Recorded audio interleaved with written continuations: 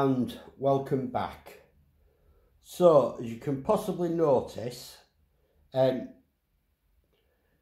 it's a bit different. um, I've masked over all this inner part because first thing I want to do is get this front painted. As you'll notice, the windows are in, so I've got them stuck down. Um, and I've been going over with putty on that gap. Still got and this side as well. So that's ready to be primed. I've masked everything obviously because I don't want to get any paint, any overspray into here. Um, so first thing I'm going to do is get it primed up on the outside and then start laying down some colours and we'll have a look as I go along. Right, so I've got some paint drying on the front of the sub. Needs to cure really well before I can do next layer of masking, so that's up to the side.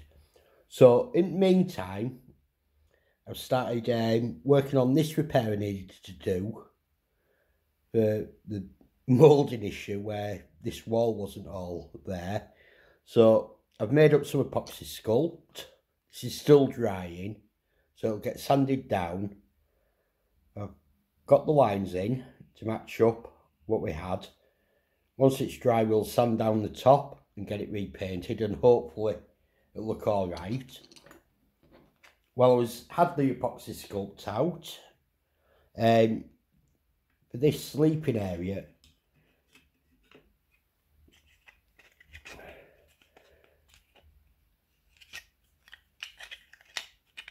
That's what the kit gives you.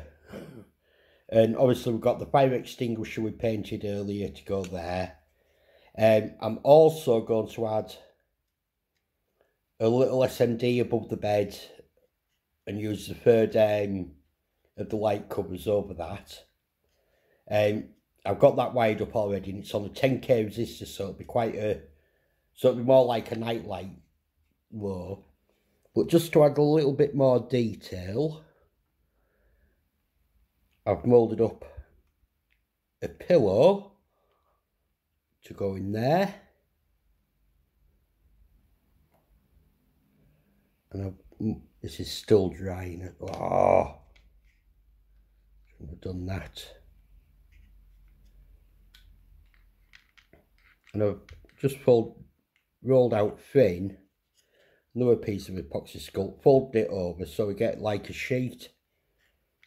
Just to add a bit more detail to this bed because it looked a bit stupid. it's just a mattress. So I'm going to keep working on these in the nose cone and we'll have another look in a little bit.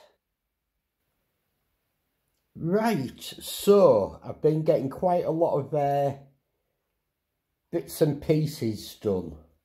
And all of this front nose is now painted. You can't see a lot of it because it's still masked.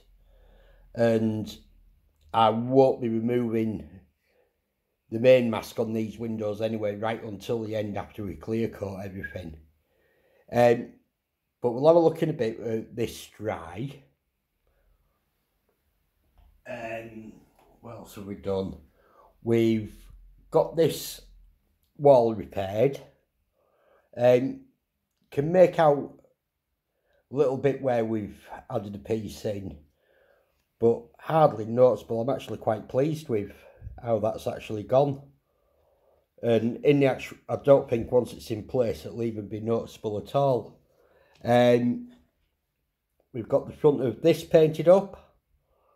Um, just the brass etchings to go on these doors and drawers, but not going to put them on right until we're fitting it in place.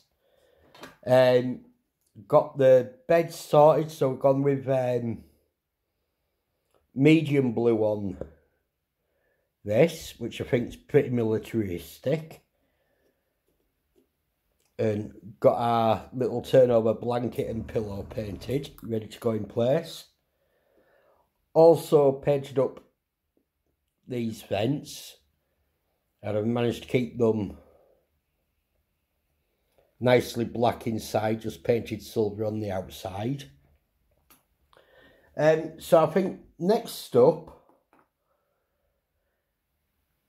going to be doing some more LEDs, so we'll get the LED fitted into the bed, the bunk area, and we'll get the two headlights fitted in to the front of the sub. And then we will, pr I'll probably fix these into the front of the sub as well at the same time. And we'll have another look at things. Right, I've got um, the sleeping bed finished now. Uh, I've fitted my little light, as you can see, it's lit up, but it's not massively, massively bright, which you wouldn't get from a night light. Um, I might add a bit of a wash onto this bedding just to take the white down, but probably to get a flat coat on that, won't matter anyway. Fire extinguishers in place, so that's just missing the etch now.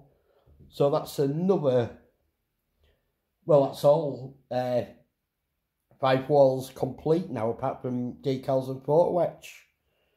Um, I'm going to get the headlights into the sub next and then we'll have another look at it.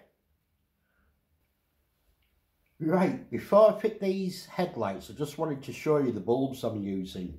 So, these are 8mm LEDs and I'm just going to fit them in there. But instead of leaving them like that, can we see how that looks? It looks a bit silly. And I saw this on um, Lou Dalmaso's channel, Aztek Dummy, when he built his flying sub and I've ground a load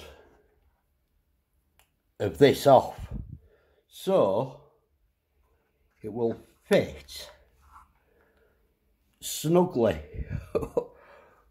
into that space so I'm going to get the other bulb ground down resisted up and we'll get it fitted and we'll have a look at the front of this sub properly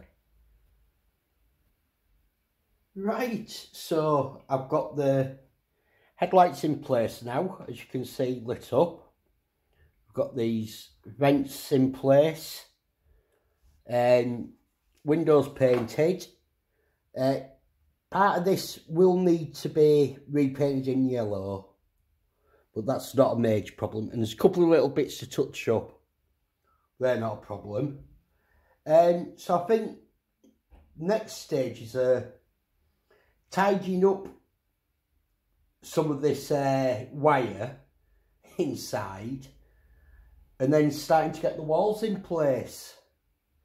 But I think we'll uh, do that in the next episode because I think we've reached uh, quite a nice point here to finish. Um, so, thank you for watching this time. Keep trekking and keep modelling. Thank you. Goodbye.